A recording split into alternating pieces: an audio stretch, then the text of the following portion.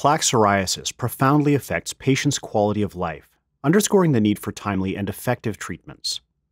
Although several biologics are available to treat psoriasis, determining the best treatment option is difficult, as head to head comparisons of biologics are rare.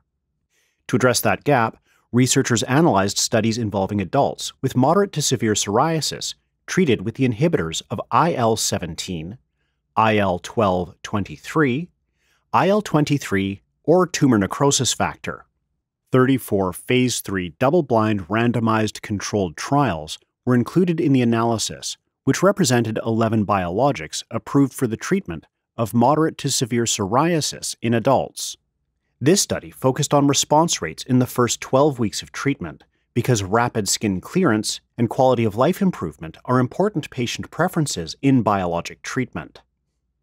Outcome measures included improvements of at least 75, 90, and 100% in the Psoriasis Area and Severity Index, or PASI, at 2, 4, 8, and 12 weeks of treatment, and a score of 0 to 1 on the Dermatology Life Quality Index, or DLQI, at week 12, indicating no impact of psoriasis on quality of life. A Bayesian network meta analysis enabled inclusion of head to head and placebo controlled studies. That allowed for direct and indirect comparisons of treatment effects between populations and across many interventions. The average response to each treatment was calculated versus placebo and represented as a Himalayan plot. On a Himalayan plot, drugs with the greatest estimated treatment effect lie farthest along the x axis. High narrow curves indicate a high degree of certainty, whereas short, wide curves indicate less certainty. For example, curve A represents a drug with a high certainty of an estimated low treatment effect. Compared with all other biologics, ixekizumab and brodalumab showed more rapid treatment effects on PASI 75 response rates over weeks 2, 4, and 8. At week 12, ixekizumab and risankizumab had the most rapid treatment effects, with some overlap with other biologics. Similarly, ixekizumab and brodalumab showed more rapid treatment effects on PASI 90 response rates over weeks 2, 4, 8, and 12, resulting in the highest PASI 90 response rates. Similar trends were observed in PASI 100 response rates.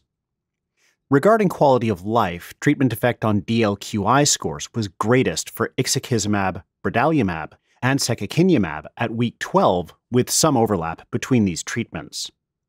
Several limitations of this NMA study should be noted, including reliance on both direct and indirect comparisons, potential trial heterogeneity, imputation methods for missing data, exclusions of other important endpoints, and other notable limitations.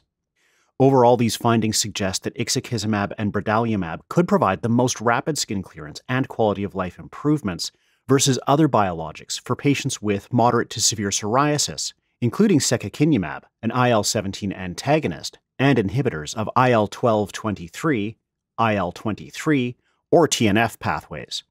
That's important because rapid skin improvements and feeling noticeably better quickly are critical to psoriasis therapy and rank among the highest priorities for patients. Fast effects are also tied to longer term outcomes, including skin improvement, quality of life, and reduction in itch.